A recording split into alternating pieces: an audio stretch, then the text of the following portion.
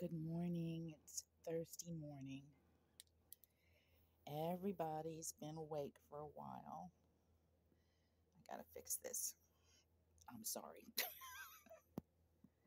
okay, here's your crew.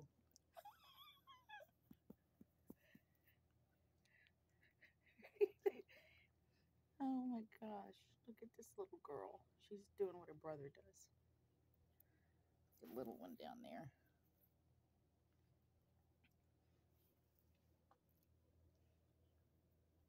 Sissy's already got up and ate this morning. So now we're feeding the babies. You're just a good mommy. I said don't mind her mommy haircut, but it makes things a lot easier. Are you eating? You're not eating.